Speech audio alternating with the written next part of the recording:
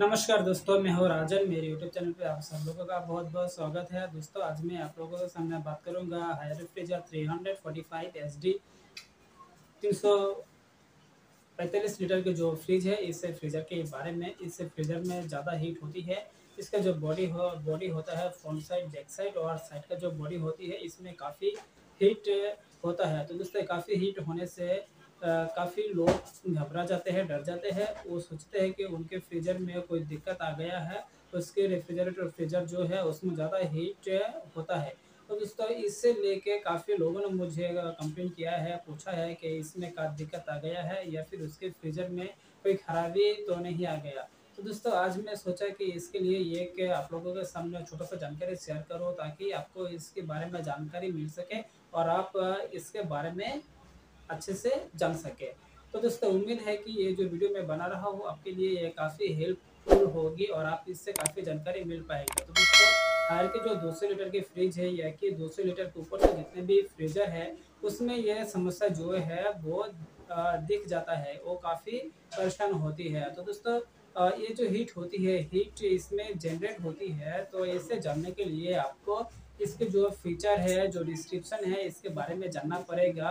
और इसके साथ जो इसका साइकिल है, साइकिल के बारे में जानना पड़ेगा कि रेफ्रिजरेशन की साइकिल किस तरीके से कंप्लीट होता है और इसके हाई साइड, लो साइड, इसके सारे जितने भी इसके इक्विपमेंट है और इसका साइकिल है, इसके बारे में आप लोगों को जानना पड़ेगा ताकि आपको फ्यूचर में जाके कोई दिक्कत का सामना ना करना पड़े और आप इसके जो ज्ञान है, वो सारे ज्ञान आप इकट्ठा कर पाए। तो दोस्तों, पहले इसमें जानना पड़ेगा कि जो फ्रीजर होती है या फ्रिज होती है इसमें दो तरह के कंडेंसर इस्तेमाल किया गया है। एक होती है बॉडी के एक्सटर्नल कंडेंसर जो कि बॉडी के बाहर की तरफ़ होती है जो फ्रीजर है या फिर रेफ्रिजरेटर उसके बैक साइड में होता है। और होता है कि बॉडी के भीतर जो होता है इंटरनल कंडेंसर होती है। तो दोस्तों ये दो टाइप की कंडेंसर इस, इसमें इस्तेमाल किया जाता है। और दोस्तों इस कंडेंसर ज़्यादा हीट होती है। दोस्तों बॉडी में जो कंडेंसर है इसी कंडेंसर वो इसमें हीट जनरेट होती है। तो दोस्तों जनरेट क्यों होती है? और ये हीट होने का कारण है ये भी मैं आप लोगों के सामने बताऊँगा। तो दोस्तों देखिए इससे पहले आपको जानना पड़ेगा कंडेंसर के टाइप कंडेंसर कि, कितने टाइप की होती है? जो आपके घरों में कंडेंसर होती है वो कंडेंसर होती है एयर कंडेंसर यानी कि आपको जो घर में है घर घर में जो वेदर होती है जो जो एथमोस्फेयर होती है उसके ज़रिए जो फ्रीजर की बॉडी है बॉडी को बहुत ठंडा रखती है। और इससे बाद भी आपको, इसके बाद भी बहुत सारी कंडेंसर होती है, जैसे कि वाटर प्रूफ कंडेंसर और इवापोरेटिव कंडेंसर तो ये दोनों कंडेंसर जो आपकी डोमेस्टिक तौर पे इस्तेमाल नहीं किया जाता है। तो दोस्तों, आइए पहले जानते हैं कि हाई फ्रीजर 345 एचडी के डिस्क्रिप्शन और फीचर के बारे में। इसके क्या क्या फीचर है और आप इसमें क्यों हीट हो रही है? दोस्तों देखिए आमतौर पे जो फ्रीजर होती है फ्रीजर में एक एक ही कंडेंसर को इस्तेमाल किया जाता है और इसमें दो कंडेंसर को इस्तेमाल किया गया है। इसमें कुछ डिफरेंट है, इसलिए आपको ज़्यादा हीट जनरेट होती है। तो दोस्तों जो फ्रीजर में एक कंडेंसर होती है, एक कंडेंसर का जो ऊपर का लेयर है जो वन थर्ड लेयर है, उसमें काफ़ी हीट जनरेट होती है और नीचे के जो पार्ट है, उसमें कम हीट जनरेट होती है। दोस्तों जो ऊपर की कंडेंसर है कंडेंसर में ज़्यादा हीट होती है। तो बेसिकली ये कंडेंसर में सत्तर डिग्री से लेके पचहत्तर डिग्री तक इसमें टेम्परेचर होती है। तो दोस्तों, ये होना स्वाभाविक बात है और आपके जो फ्रीजर में दो कंडेंसर लगेगा तो आपको उसमें और भी ज़्यादा आपको हीट महसूस होगा। तो दोस्तों इसके लेके जो फीचर है, मैं आप लोगों के सामने अभी दिखाऊँगा और इसके जो डिस्क्रिप्शन है, ये भी मैं आप लोगों के सामने अभी दिखाऊँगा। तो सर देखिए जो इसका वेट होती है वेट होती है वन हंड्रेड सिक्सटी टू के जी फ्रीजर टाइप होती है सिंगल डोर फ्रीजर और इसका डायमेंशन होती है हाइट वेट डीप होती है uh, इसका eight hundred forty five by one thousand fifty fifty और इसके बाद होती है seven hundred forty five m m m m तक। और इसका कैपेसिटर होता है three hundred forty five litres और इसके जो कंप्रेशर की पावर होती है कंप्रेशर की पावर होती होती है टू हंड्रेड टेन वाट तो दोस्तों, जब इसमें कंप्रेशर की वाट भी ज़्यादा होगी और इसमें रेफ्रिजरेंट भी चार्ज ज़्यादा होगा कंडेंसर की जो लेंथ है, वो भी ज़्यादा होगी। और इसका जो इसका जो इवापोरेशन करने का सिस्टम होती है, ये भी ज़्यादा होगी तो दोस्तों तो आपको जो फ्रीजर है फ्रीजर में इसमें ज़्यादा हीट जनरेट होना स्वाभाविक स्वाभाविक बात है।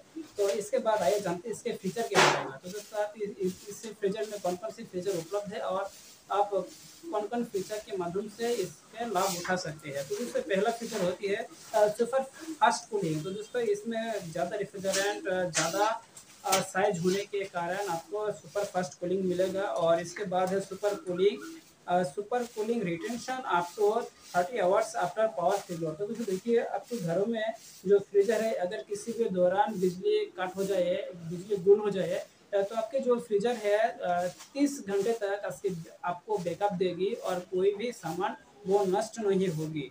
और इसके बाद आइए देखते हैं कंफर्टेबल डोर हिंस जो दूसरी दरवाज़ा है दरवाज़ा भी आपको सूटेबल मिलेगा और कंफर्टेबल मिलेगा। Dual condenser for excellent freezing performance दोस्तों मैंने यही इसी को लेकर बताया कि आमतौर में जो फ्रीजर होती है फ्रीजर में एक ही कंडेंसर को इस्तेमाल किया जाता है और इस रेफ्रिजरेटर में डुअल कंडेंसर यानी कि दो कंडेंसर इस पर इस्तेमाल किया किया गया है इसलिए आपको ज़्यादा हीट महसूस हो, होता है। और इसके बाद आइए देखते हैं कि freezer temperature up to minus eighteen degree दोस्तों इसका जो हाईएस्ट टेम्परेचर है आपको माइनस एटीन डिग्री माइनस अठारह डिग्री तक आपको मिलेगी ताकि आपको जो सामान है, सामान भी कंप्लीट होता रहेगा फ्रीजिंग भी अच्छी होगी, इसमें आइस भी ज़्यादा होगा। तो दोस्तों, और इसका जो लाइट होती है, वो इनर लाइट एक ही होता है।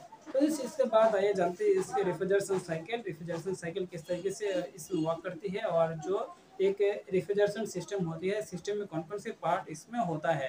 तो उसमें देखिए, पहला होता है कंप्रेशर कंडेंसर एक्सपेंसल भाल्व यानी कि एक्सपेंसल भाल्व जो डोमेस्टिक फ्रीजर या फ्रिज होती है, उसमें एक्सपेंसल भाल्व की ऑल्टरनेट उसमें कैपिलरी ट्यूब को इस्तेमाल किया जाता है और इसके बाद होता है इवापोरेटर तो दोस्तों इवापोरेटर में आपको ठंड महसूस होता है। आप उसी में जो सामान है, सामान को रखते हैं। तो दोस्तों, उसके बाद आइए जानते हैं, ये जो इसका हीट जनरेट होती है जनरेट क्यों होती है? तो दोस्तों, जो कंप्रेशर होती है कंप्रेशर को काम होता है कि कंप्रेस्ड करना। जो फ्रीजर के अंदर जो रेफ्रिजरेंट होती है रेफ्रिजरेंट हाई प्रेशर और हाई हीट के ज़रिए वो कंडेंसर को थ्रो करता है। कंडेंसर में जब ये रेफ्रिजरेंट जाता है कंडेंसर ज़्यादा हीट होता है। ज़्यादा हीट होने से इस पर हीट जनरेट होती है।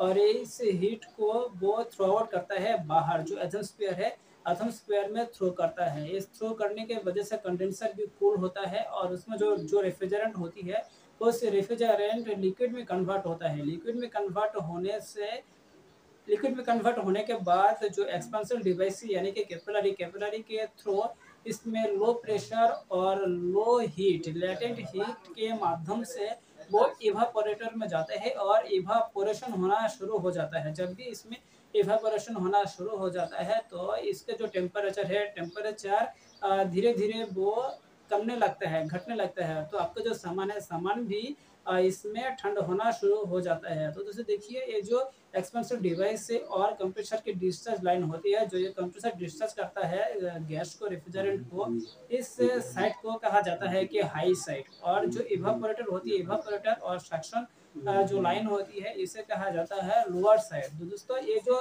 हाई पावर की साइड होती है हाई प्रेशर की साइड होती है इस पर हीट होना स्वाभाविक बात है। तो दोस्तों, जब आपके एक फ्रिज फ्रीजर में दो कंडेंसर इस्तेमाल किया जाता है तो दोस्तों, ये दो कंडेंसर में काफ़ी ज़्यादा हीट होगी क्योंकि इसका साइज़ भी बड़ा है और इसमें रेफ्रिजरेंट चार्ज भी ज़्यादा हुआ है और इसके इवापोरेटर भी बड़ा है। तो दोस्तों, इसीलिए इसका जो हीट है हीट वो हाई जनरेट होता है, बहुत ज़्यादा हीट जनरेट होता है। और जो आपके घरों में एयर है एथमोस्फेयर है, उसके ज़रिए कंडेंसर को कूल होता है और आपको ठंड भी मिलती है। तो दोस्तों, एक बात आपको जानना पड़ेगा, जितना कंडेंसर में हीट पैदा होगी, इसकी एगेनेस्ट उतनी ही जल्दी आपको इवापोरेटर में ठंड मिलेगी। तो दोस्तों, इसके बाद जो आपको ठंड मिलेगी, वो उसके जो डिक में, जो फ्रीजर में टेम्परेचर होगी, लगभग आपको माइनस एटीन तक आ जाएगा। तो जो सक्शन लाइन होती है सेक्शन लाइन में प्लस फिफ्टीन से लेके पाँच डिग्री तक, यानी कि चार डिग्री तक जो सक्शन पाइप होती है पाइप को टेम्परेचर आपको महसूस होगी। और जो कंडेंसर होती है सिंगल कंडेंसर में सेवेंटी डिग्री से लेकर सेवेंटी फाइव डिग्री तक इसमें टेम्परेचर होता है। जब इसमें डबल कंडेंसर दिया जाता है तो इसका जो सेवेंटी से लेकर सेवेंटी फाइव डिग्री जो कंडेंसर होती है कंडेंसर आपके फ्रीजर की जो बॉडी है इनर साइड में चारों तरफ़ होता है। ये चारों तरफ़ होने से आपको चारों तरफ़ इसका ज़्यादा हीट महसूस होता है। तो दोस्तों, इस तरीके से इसमें काम होता है और हीट भी इसमें जनरेट होती है। तो दोस्तों, इसमें डरने का कोई बात नहीं है, घबराने की कोई बात नहीं है। अगर इस रेफ्रिजरेटर या फ्रीजर में सिंगल कंडेंसर होता सिंगल कंडेंसर होने से आपको इतना ज़्यादा भी हीट महसूस नहीं होता और आप ना ही कभी घबराते और ना ही कभी डरते। तो दोस्तों, ये एक आम सी बात है, ये एक ऑर्डिनरी बात है तो आपको इसे घबराने की कोई बात नहीं है। तो दोस्तों, आइए, ये ये किस तरीके से काम करता है, आइए देखते हैं। तो दोस्तों, जो काफ़ी फ्रिज होती है, काफ़ी फ्रिजों में, बहुत सारे फ्रिज होती है, बहुत सारे फ्रिजों में कंडेंसर के जगह एक कूलिंग फ़ैन दिया जाता है, ताकि कंडेंसर को वो हीट ज़्यादा ना हो, इसलिए एक कूलिंग फ़ैन दिया जाता है, ताकि कूलिंग फ़ैन जब चलेगा, ये कंडेंसर भी ठंड रहेगा और कंप्रेसर भी ठंड रहेगा।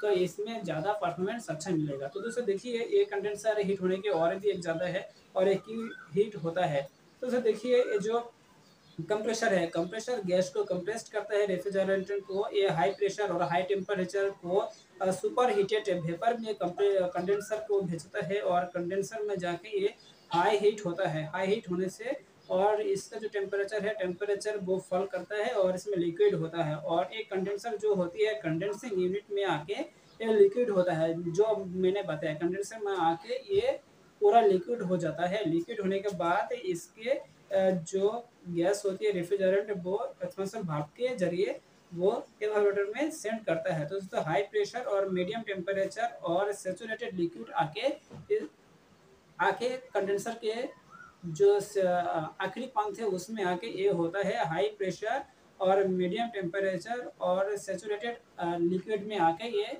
इवापोरेटर में जाता है तो ये ठंड होना शुरू हो जाता है। तो दोस्तों इसी तरीके से एक जो फ्रीजर है फ्रीजर इस पर काम करता है और इसमें हीटिंग ज़्यादा होती है। तो इसमें डरने की कोई बात नहीं है, घबराने की कोई बात नहीं है, आपके ये आम सी बात है, ये ऑर्डिनरी बात है।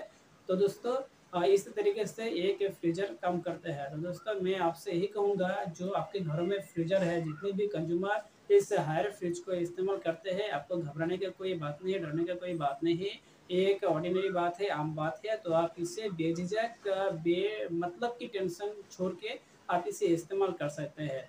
तो दोस्तों, इस छोटी सी जानकारी आप लोगों के पास कैसे लगा, आप मुझे नीचे कमेंट करके बता सकते हैं। अगर अच्छा लगा है तो आपके जितने भी साइट है, आपके फ्रेंड है, दोस्तों है उन सब लोगों को इस वीडियो को शेयर करें ताकि वो सब भाई को इसके बारे में जानकारी मिल सके और वो भी अच्छे से जान सके। तो दोस्तों, अगर आप मुझसे कोई भी सवाल पूछना चाहते हैं तो आप मुझे नीचे कमेंट करिए और चैनल पे नए हैं तो लाइक शेयर और सब्सक्राइब करना बिल्कुल ना भूलें। बिल्कुल ना, बिल्कुल भी ना भूले और दोस्तों के साथ इसे शेयर करें। तो दोस्तों, आज के लिए इतना ही। नमस्कार, धन्यवाद। मिलते हैं किसी नए और एक वीडियो के साथ।